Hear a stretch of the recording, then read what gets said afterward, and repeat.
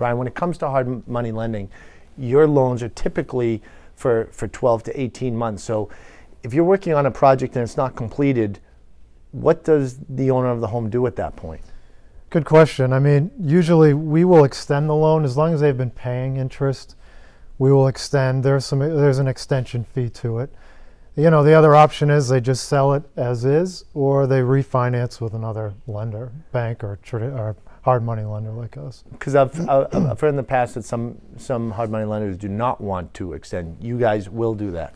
We will, yeah. The last thing we really want to do, we don't want to take these properties back. I'm sure there are lenders out there that do, but you know, our focus is to help the borrower get to the finish line, sell it or refinance it to keep it, and then come back to us for their next deal.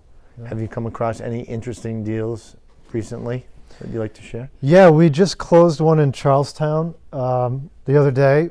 A similar story. Borrower's hard money lender. It was a 12 month term. It took him 12 months to get through a variance with the city for adding on to the building. um, the extension fees were pretty high, I think to the tune of $70,000, Wow. you know, for a million dollar loan at the moment.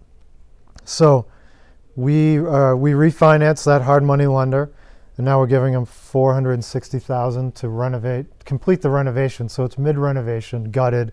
There's not much there. Um, and he's going to convert to condos, three condos, right in Charlestown on Bunker Hill. Perfect example of something taking a little bit more time than Yeah. expected. Oh, absolutely. Yeah, and it wasn't his fault. I mean, he he didn't expect the city to take that long.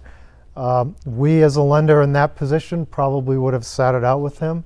But you know, each lender has their own parameters. It's fine. Flipping properties is not as easy as it looks. No, it's not. Scenario No, I think it shows that.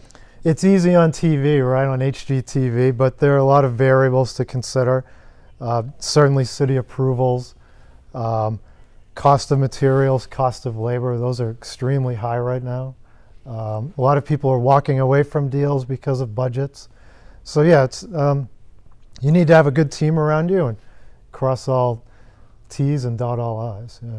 Right. Thank you, Bryan. Home flipping is definitely not like HGTV. So if you're in the market um, to invest in real estate and you're looking to put together your A team, connect with Bryan and his team at emcaplending.com. And remember, we have more tips just like this right here on boston.com.